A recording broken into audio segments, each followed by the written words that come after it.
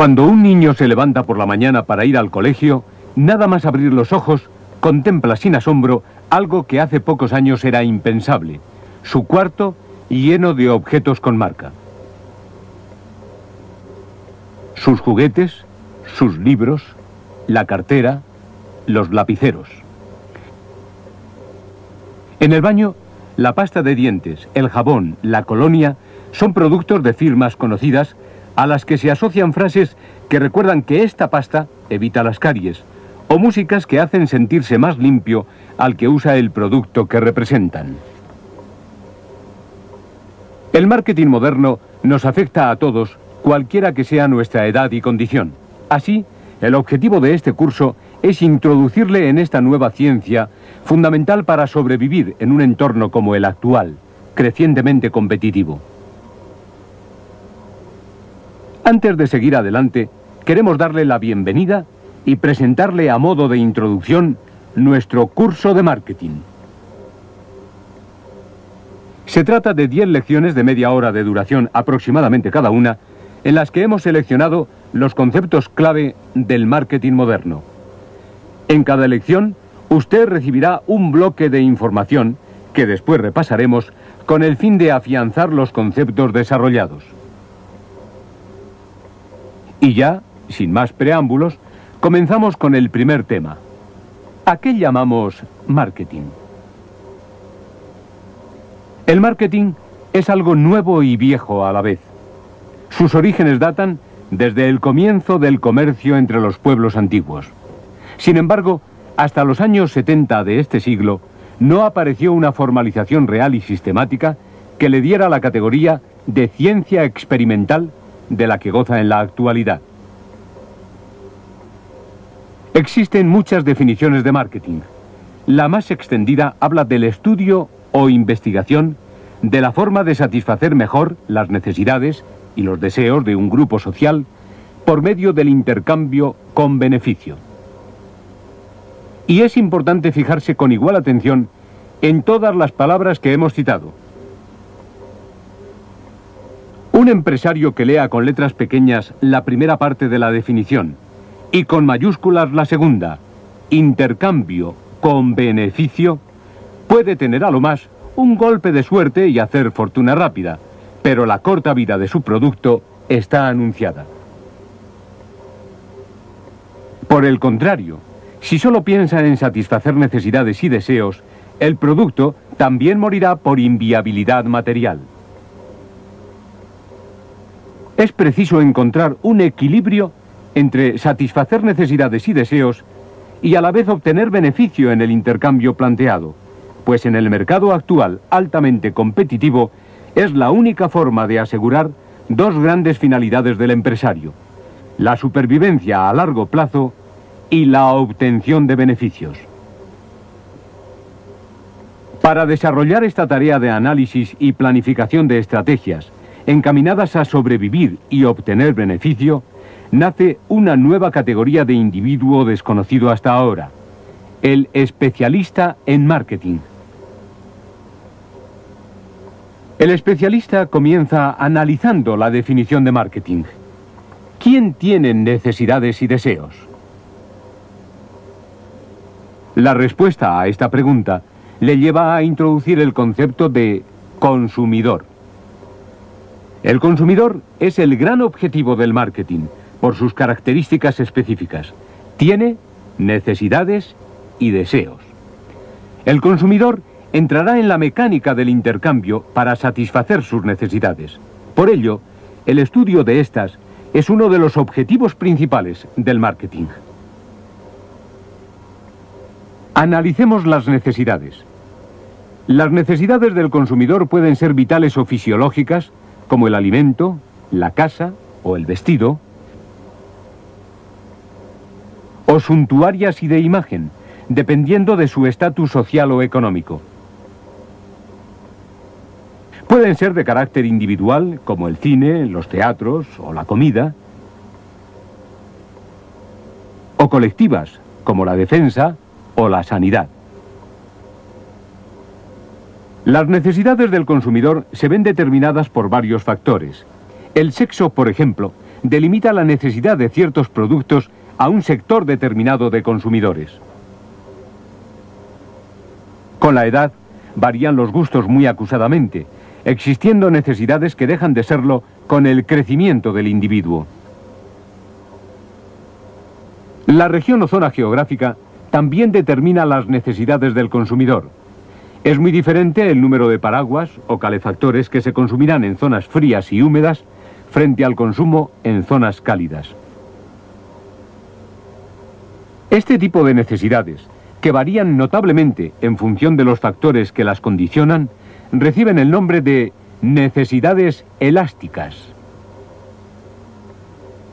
Por el contrario, existe un reducido grupo de necesidades que llamaremos rígidas, es decir, aquellas que se mantienen invariables e independientes de los elementos que las determinan, sexo, edad, estatus, región, etc. El ejemplo más concreto de necesidad rígida es la sal. No toman más sal en sus alimentos los hombres que las mujeres, ni aprovechan la subida de su nivel adquisitivo para salar en cantidad los manjares más exquisitos. Ahora, el especialista en marketing ha diferenciado a un individuo con necesidades y deseos al que llama consumidor.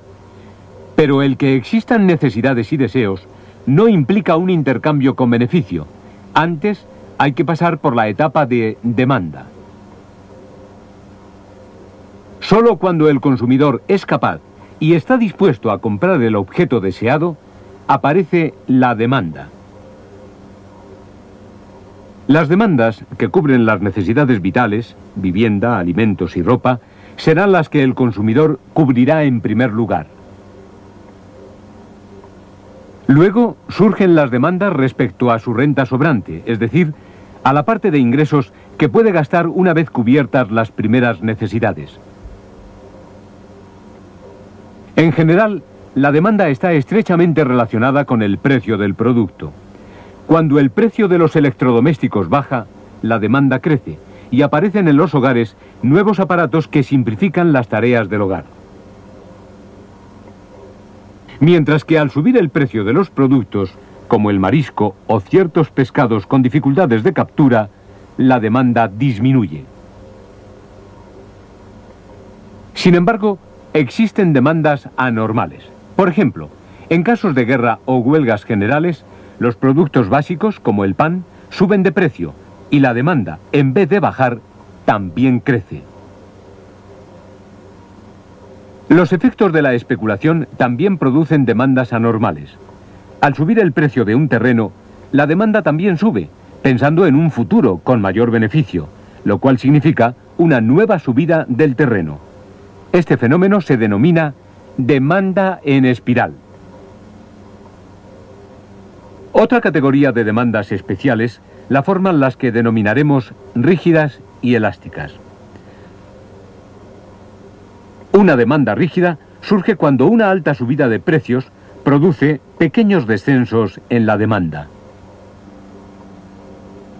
Por ejemplo, si el pan o cualquier producto de consumo básico sube un 15% y la demanda solo baja un 3%, estamos ante un fenómeno de demanda rígida. Todo el mundo necesita pan para sobrevivir y por caro que sea, tratará de comprarlo. La demanda elástica es el fenómeno contrario. Una subida de precios significa una baja desmesurada en la demanda. El turismo es el ejemplo más claro de demanda elástica, pues subidas de un 20% significan caídas del 50 al 60% en la demanda. La puesta en práctica de la demanda diferencia a una clase de consumidor especial, el comprador. Para que se produzca una compra, no basta con que existan consumidores que necesiten nuestro producto. Tampoco es suficiente que tengan el deseo y la capacidad de comprarlo. Es necesario que se produzca la compra real, es decir, que en un momento determinado y en un sitio preciso, alguien le ofrezca a una persona concreta nuestro producto y le convenza para adquirirlo. El estudio de las motivaciones que hacen de ese consumidor potencial un comprador real son de la máxima importancia para el marketing. Cada vez es más usual la compra por impulso, donde un lugar adecuado de exhibición del producto, un buen precio y una campaña de publicidad bien pensada producen resultados altamente favorables, incluyendo el placer de la compra como uno de los motivos de la misma. No será posible aplicar las técnicas de compra por impulso a aquellos productos cuya adquisición requiere una reflexión previa. Este tipo de compras racionales exigen por parte de la empresa lanzar una imagen sólida que dé confianza al comprador, un precio acorde con la competencia, plazos de entrega fiables y un servicio de postventa con garantía. El comprador aportará como motivo básico la conveniencia del producto. A partir de las necesidades, los deseos y las demandas que los formulan, el experto en marketing determina el mercado. El mercado es el conjunto de compradores actuales y potenciales de un producto. Uno de los objetivos del marketing de una empresa respecto al mercado es la ruptura de la homogeneidad de los productos, convenciendo al consumidor que el producto de su empresa es el que realmente satisface su necesidad, es decir, diferenciándolo del resto. La diferenciación se puede llevar de muchas maneras.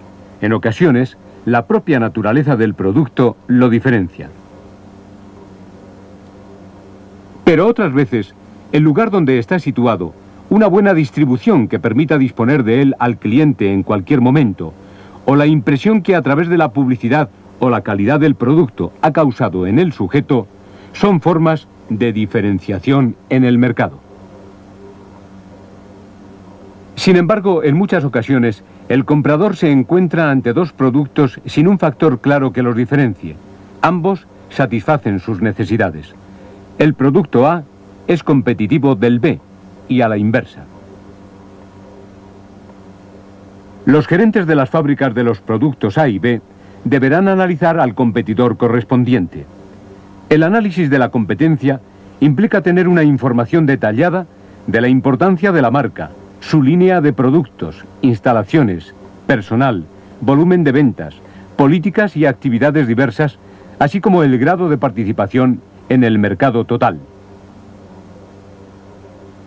Ahora, el especialista en marketing que conoce los condicionantes de su misión, sabe diferenciar al consumidor del comprador, entiende el mercado y sabe de la competencia, está en condiciones de seleccionar sus propios mercados, hacerlos rentables y crecer en ellos. Por eso, deberá definir el proceso de marketing de la empresa. El proceso de marketing contempla tres apartados fundamentales. El estudio, segmentación y selección del mercado, el desarrollo de la mezcla adecuada de políticas de marketing y el diseño de unas directrices operativas eficaces. El primer paso es siempre la definición precisa y sistemática de nuestros clientes. A esta actividad se la llama segmentación y selección del mercado. Cada mercado está conformado por un grupo de clientes tan numeroso que la empresa sabe de antemano que no podrá acceder a todos ellos. Por esto, la tarea es segmentarlo, es decir, dividirlo en grupos o segmentos homogéneos. Por supuesto, la mejor segmentación sería aquella en la cual hubiera un solo individuo por segmento. De hecho, las empresas con pocos clientes pueden dedicar una persona por comprador, que diseñará a su medida el producto que comercializa. Sin embargo, la práctica regular es identificar grandes clases de clientes que difieran poco en sus necesidades. Las variables más importantes que se utilizan para la segmentación de mercados de consumo son las de tipo demográfico, como edad, sexo, estado civil, ingresos, educación, etc. Psicológicas, como personalidad de los individuos o clase social a la que pertenecen. También la segmentación contemplará las variables geográficas de clima, suelo urbano o rural, etc. Si se trata de mercados industriales, se utilizarán otro tipo de variables para la segmentación, como tipo y tamaño de la organización a la que va dirigido el producto, posición que ocupa en el mercado, ubicación geográfica, así como las características específicas del centro de compra. Pero un segmento solo resulta de interés para una empresa cuando es medible, accesible y rentable. Medir un segmento significa poder cuantificar su tamaño y la cantidad de compra que puede realizar. Para ello es fundamental una definición precisa y clara del segmento. Así, un segmento integrado por los fumadores ocasionales está tan escasamente definido que resulta imposible de medir. La accesibilidad de un segmento significa la posibilidad práctica de llegar a él a través de las capacidades de promoción, publicidad y distribución de la empresa, pudiendo atender sus necesidades. Un segmento constituido por los bebedores australianos de cerveza es un ejemplo obvio de un segmento generalmente inaccesible para una empresa española. El tercer factor que marca el interés de un segmento es su rentabilidad potencial. El costo solo quedará justificado cuando se consiga impactar positivamente en el segmento o influenciarlo. Una vez elaborada la segmentación útil, el especialista en marketing decidirá el mejor de los segmentos para penetrar en él, al que llamaremos mercado objetivo. El mercado objetivo estará integrado por un conjunto bien definido de clientes cuyas necesidades la empresa planea satisfacer.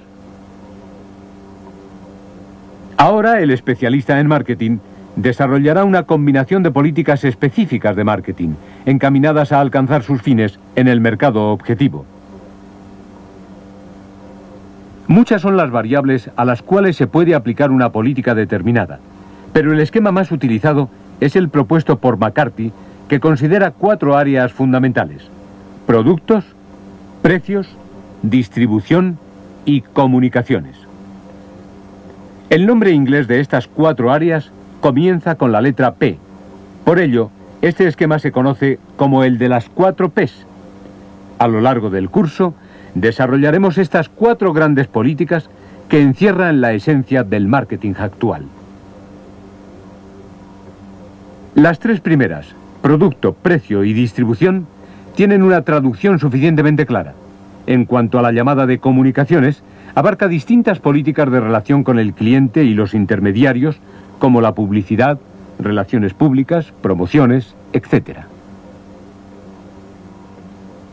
La mezcla de estas cuatro grandes políticas se conoce como marketing mix, mezcla que el especialista adaptará al mercado objetivo, examinando sus deseos y sin olvidar a los competidores.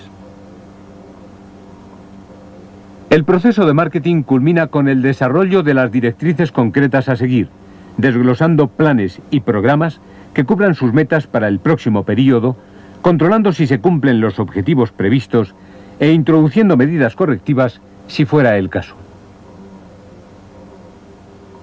Para ello necesita grandes dosis de información exacta y a tiempo, tanto del mercado como de la competencia, acompañada de un sistema de organización que la dirija hacia la integración e innovación.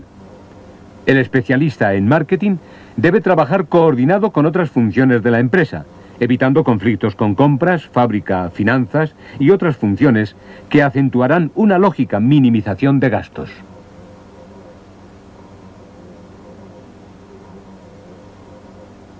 A continuación resumiremos los conceptos más importantes desarrollados en esta lección. Definimos marketing como un estudio de la forma de satisfacer necesidades y deseos de un grupo social mediante el intercambio con beneficio. El consumidor es el gran objetivo del marketing por sus características específicas. Tiene necesidades y deseos. La demanda es la disposición del consumidor a comprar el objeto deseado. La puesta en práctica de la demanda determina al comprador. El mercado es el conjunto de compradores actuales y potenciales de un producto. Uno de los objetivos del marketing de una empresa respecto al mercado es la ruptura de la homogeneidad de los productos. El proceso de marketing contempla tres apartados. El estudio, segmentación y selección del mercado, el desarrollo de una mezcla adecuada de políticas de marketing y el diseño de unas directrices operativas eficaces. A la definición precisa y sistemática de clientes de un mercado se llama segmentación y selección del mercado. Para que un segmento resulte eficaz, ha de ser medible, accesible y rentable. El mercado objetivo está integrado por un conjunto bien definido de clientes cuyas necesidades la empresa planea satisfacer. El especialista en marketing desarrollará una combinación de políticas específicas de marketing encaminadas a alcanzar sus fines en el mercado objetivo.